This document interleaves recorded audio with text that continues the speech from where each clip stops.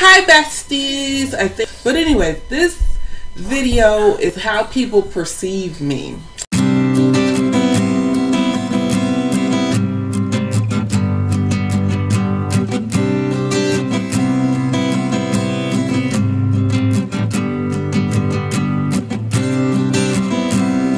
So a lot of people feel like when I make up my mind, things happen. Like I am personally like a dog with a bone when I decide to, that I want to do something. I am obsessed. OCD can't let it go. Got to find everything and anything about it. Will join every forum online to figure out how to do it. Will find a group. Will go the extra mile. Will go to groups and meet up. I will do anything to get things done. And that was always me, like even before the internet, because you know, I'm old enough. There was pre internet like when I decided I was going to college. When I decided I was going to college, it's not because I think I was like the first, you know, generation college. I decided to go because I was watching the, the show Different World. At first, I wanted to go to a black college, but money talks, bullshit walks. And the black colleges were not trying to pay, whereas the white colleges were. But that was like my thing. I was going to college.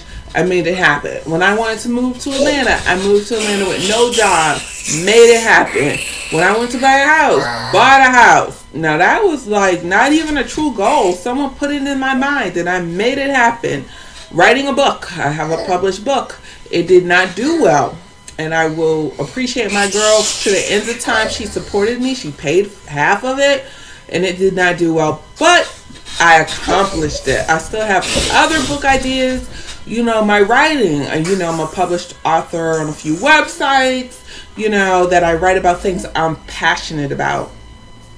Um, and I do write a blog. I, you know, I try to work on my interests. That is not just work, doing laundry, cleaning, coming home, and taking care of my child. Like I have hobbies, I have interests, and I try to work on my my YouTube. YouTube did not start off as a passion. What, what, what turned into my YouTube was the passion um, for the single mother by choice community that seemed to be lacking minority women who were speaking about it. So that's how it kind of unfolded. And I'll do a video on that, but it's also a passion. And I've been working on channel, I mean, subscriber increasing. But there's definitely things in my life, like having a child, that I just was going to make happen by hook or crook.